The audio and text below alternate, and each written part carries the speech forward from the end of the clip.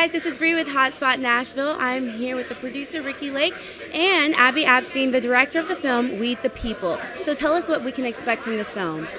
Um, I think it's an, an eye opening experience. We followed children for five years, children with cancer, and we looked at the cannabis plant and we see the healing benefits of that plant on these children. So it's for particularly in a place like, like Nashville, Tennessee, where you are not in a legal state um, I think it raises a lot of questions and, and you know good questions about the fact that this should be available to everyone.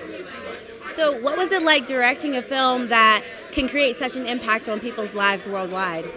Well, we have made um, a film called The Business of Being Born together 10 years ago, and so we've seen how that film has totally changed the way American women look at birth and their options for birth. So I feel like going into this, we've had, we had that experience, and so even after the first screening, we got the feeling like, oh, this is going to be another one of those. Like, this is going to start a movement.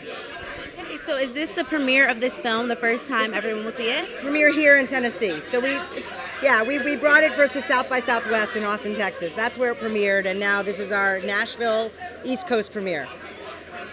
Southeast premiere. Southeast premiere. Well, I love that you guys are talking about something that's so inspiring and that can help millions of people.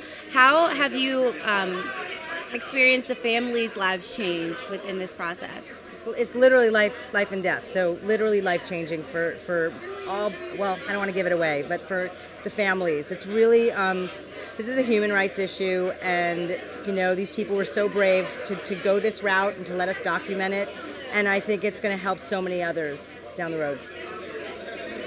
Thank you guys so Thank much for talking you. with us.